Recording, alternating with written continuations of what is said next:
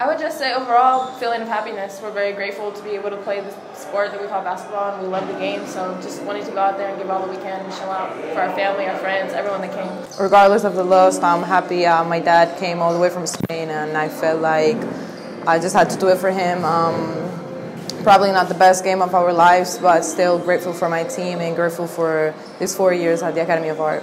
I'm grateful as well.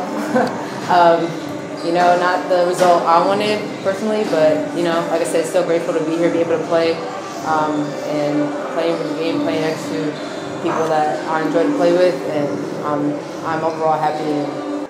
To transfer from Rice and be here for a year as a grad transfer, she's working on her master's in interior architecture design.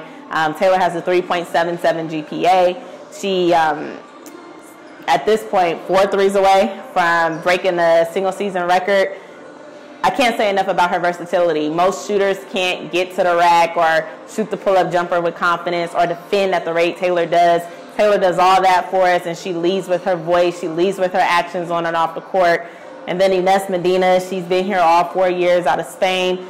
I have a soft spot for Ines. The young lady could not speak English when she first came here, and now she's fluent in English. Her confidence is out of the roof. Um, you won't meet a more passionate human being, whether it's participating in community service and seeing the joy in the youth face, whether it's making a shot and screaming at the bench like let's go, or grabbing 19 rebounds in a game, 11 of them being offensive rebounds as a small forward or a shooting guard. Um, so again, another person who's broken a record. She's in the record book. Josh transferred here last year out of Yuma, Arizona, community college prospect, but she's already made nine threes in a game the challenge for her before the game was to break her own record and make 10 today. And so she came out, she looked like she was really trying to make 12 or 15, a couple of shots I wish she didn't take, but you know, I'm, I'm extremely proud of her growth. I'm happy for her, and she's definitely left her mark on the program.